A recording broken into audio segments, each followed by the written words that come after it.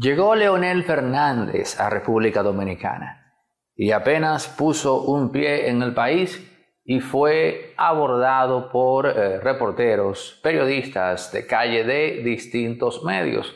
Sus declaraciones usted ya las habrá visto en redes sociales y nosotros vamos a abarcar un punto que no se ha planteado en República Dominicana, pero que está corriendo en Sudamérica y también en Centroamérica. Así que preste atención. Esto lo podemos titular las más indeseables de las consecuencias para Leonel Fernández tras su periplo por Venezuela.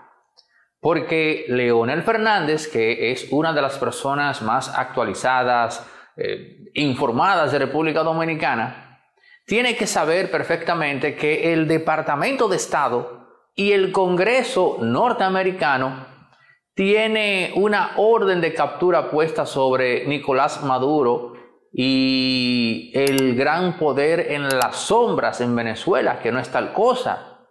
Me refiero a Diosdado Cabello, porque todo el mundo sabe que Diosdado Cabello es, si se quiere, el brazo ejecutor del poder del chavismo a un punto tal que estando vivo el propio Hugo Chávez le tenía miedo a Diosdado Cabello. Oigan lo que estoy planteando.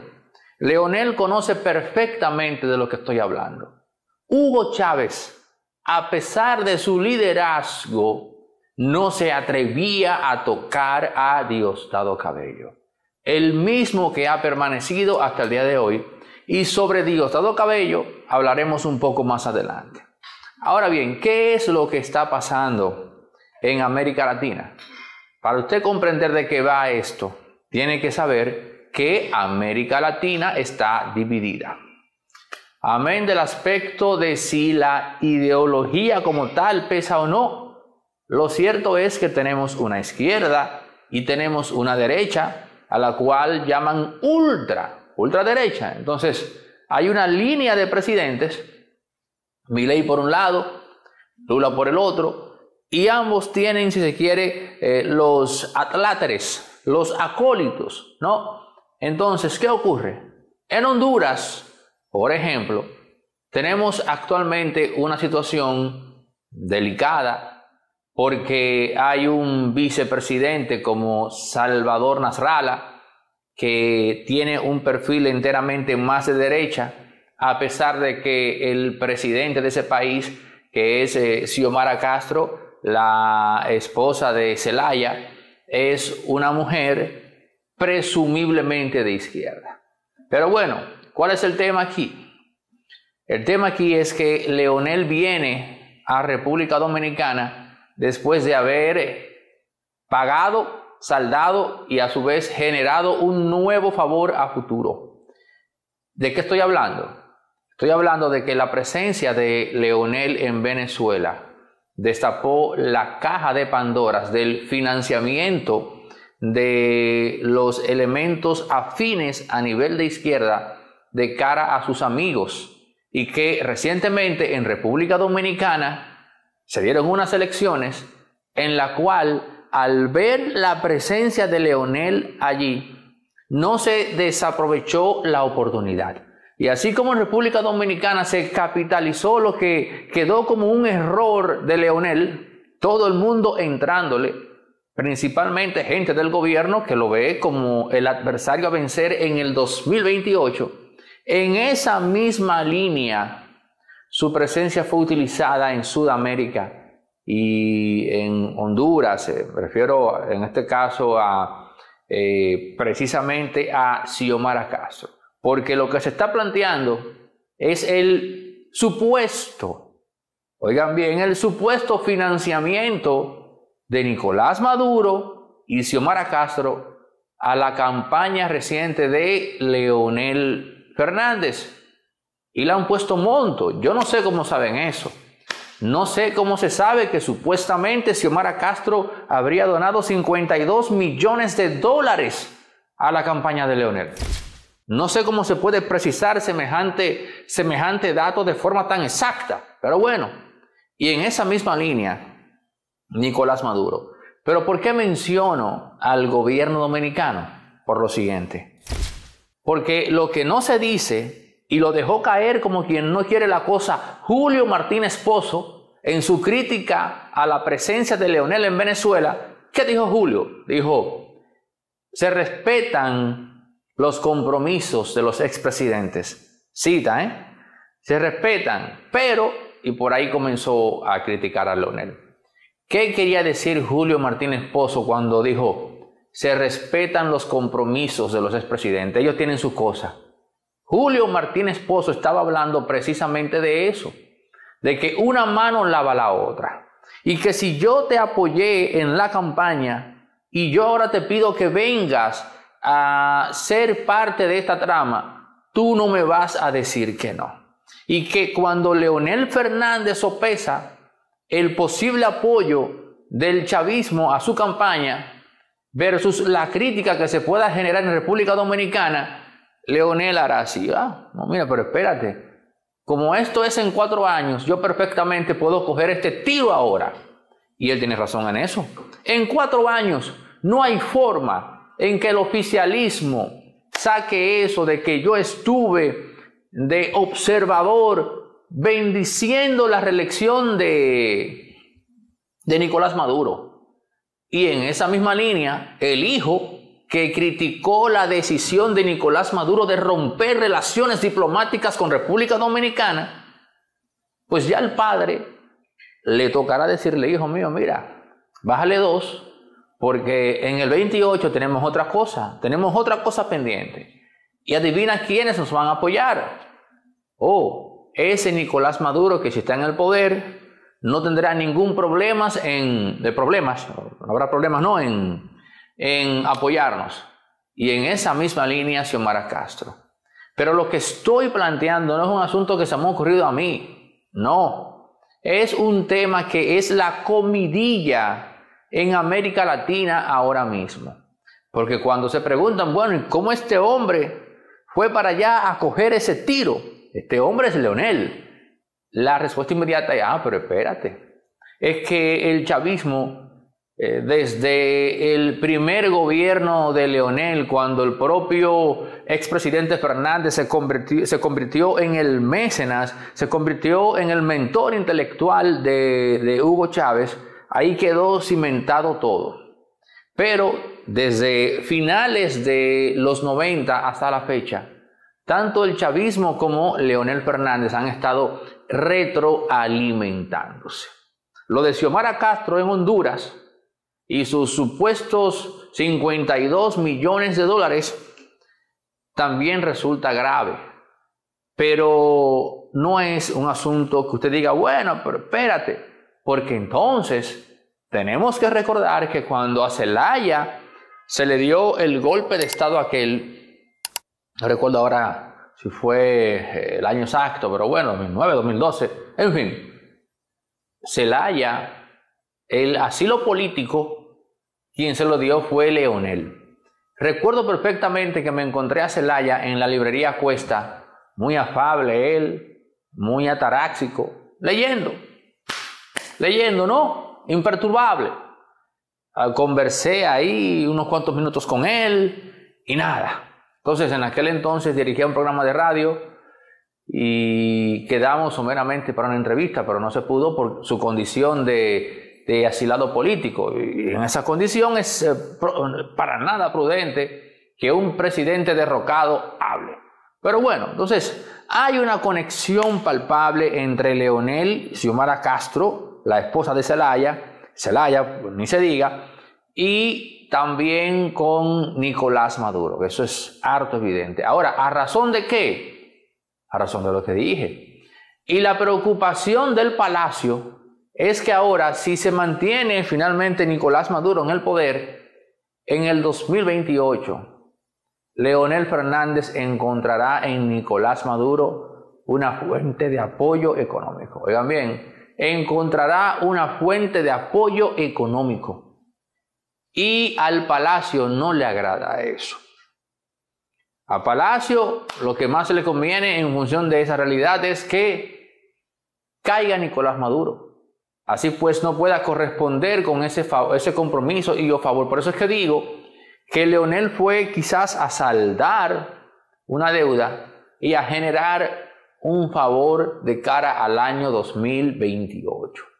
En Palacio lo saben, lo tienen totalmente claro. No sé si los organismos de inteligencia puedan confirmar este asunto de los supuestos 52 millones de dólares de Xiomara Castro. Yo mismo, siendo honesto, digo, bueno, para tener un manejo tan exacto de la cifra, pero digo lo siguiente, esto no soy yo que lo está diciendo. Eso es lo que se está diciendo ahora mismo en Sudamérica. Eso es lo que se está diciendo en Centroamérica. Al punto de que un vicepresidente activo de Honduras, Salvador Nasralla, compromete directamente a Leonel Fernández. Es decir, acusa a Leonel. Desde luego, el expresidente Fernández estaría al tanto de esas graves acusaciones. Pero vamos a ver, Leonel ya está aquí. Vamos a ver cómo evoluciona todo esto. Gracias por la atención. Suscríbanse, activen la campanita, comenten, compartan, den like. En pie, hasta el próximo.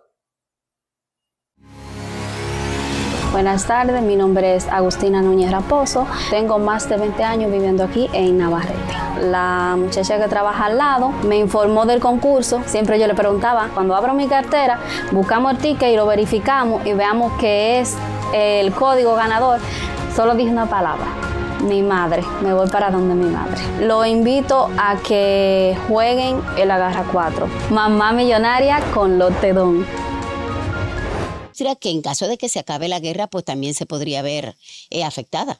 No, ese, ese es uno de los puntos, ¿no? También está, y de eso hemos hablado acá, el enfrentamiento de Trump y Larry Fink, que es el CEO de BlackRock, que es el fondo de inversión más poderoso del mundo, que maneja más de 9 trillones de dólares. De hecho, casualmente, digámoslo así, este joven, eh, Thomas Matthew Crook, participó en un comercial de BlackRock como talento eh, comercial que, como te imaginarás, BlackRock sacó de circulación, pero que la gente ya lo tiene en Twitter y está, lo pone a circular y le pone su, cuando aparece Thomas Matthew Crook en el comercial, lo frisan, mírenlo ahí. Eh, entonces, la gente ha comenzado a conectar estos enfrentamientos que es bueno que se sepa que de todos esos choques que ha tenido Trump con multimillonarios norteamericanos, pues el más notorio de todos ha sido precisamente con Larry Fink de, BlackRock. Y es importante destacar la personalidad un poco eh, conflictiva de, Donald Trump, que bueno, eso lo caracteriza y, él le saca eh, provecho a esos elementos. Bueno, es que eh, otro aspecto para, para complementar eso que acabas de decir, y mucha gente no lo sabe, es que Trump es un multimillonario, pero Trump es un millonario que no es, eh, que nunca ha sido bien visto por la élite, ni la élite convencional norteamericana, ni la élite emergente de Silicon Valley, y tampoco la élite financista de Wall Street. Sí, porque él no es parte de ese establishment. Claro, no, no, no. Además, él es un tipo diferente y él lo sabe y él le saca provecho a eso. Él trató de, entrar en el círculo, pero lo rechazaron y ese Trump que vemos, que es un hombre que no tiene modales, yo diría que es una parodia del estereotipo del multimillonario que pertenece o abunda en el círculo al que él trató de entrar. Hay un asunto psicológico ahí. Claro. Pero vamos a ver. Mira. Pero de que es un genio, es un genio. Eso es una persona definitivamente con, con luces. Ahora, amén de sus sombras. Una pregunta desde un punto de vista totalmente ignorante e ingenuo. Cuando a mí me dicen que una bala le pasa cerca a una persona por, por, la oreja, y en este caso la bala de un rifle, un AR-15, yo digo, van acá, pero si le pasó tan cerca, más que pulverizar o, llevarle un pedazo de carne, debió quemarlo con el, paso de la bala. A no ser, estoy especulando, a no ser que la bala no pasara tan cerca como la gente o como uno imagina. Vimos que eh, sí hay sangre y todo, pero si le pasó tan, tan, tan cerca, solo fue el impacto y no dejó como la trazabilidad de la bala, no, no le dejó una marca en la, en la cara. Bueno, ahora ah, se ha empezado a hacer eh, recopilación de las eh, fotografías y las evidencias que se han presentado hasta ahora en la investigación es que lo que lo hirió fue un fragmento de un cristal del teleprompter, que la bala que llegó más cerca realmente dio en el teleprompter. E incluso hay algunos técnicos eh, y especialistas en balísticas que establecen que si la bala le hubiese rozado, no solamente le causa un daño mayor, sino que tal vez le hubiese explotado el tímpano y que le hubiese causado una afectación eh, física eh, significativa. Entonces, de hecho, hay, un, hay algunas fotografías que han empezado a, a salir en medios, por supuesto, la mayoría de ellos es que no son norteamericanos, en el que se ve la bala eh, en, otra dirección, que es al teleprompter. Y naturalmente, un cristal del teleprompter sí le impacta, porque lo que sí tenemos que eh, quedar claro es que él, sí resulta herido, pero posiblemente haya resultado herido por los fragmentos de los cristales del eh, teleprompter. Y él resultó herido en ese incidente y esa, esa situación lo hirió a él, pero terminó posiblemente matando la candidatura de Joe Biden. Eso sí. O sea, tú entiendes que ya lo que resta es una pérdida de tiempo en lo adelante de Joe Biden. Eh, no, yo supongo que Joe Biden hará lo posible de, por lo menos, en caso de eh, eh, mantener si en caso de continuar con su candidatura, en caso de que no deponga, eh, pues por lo menos mantener cierta dignidad.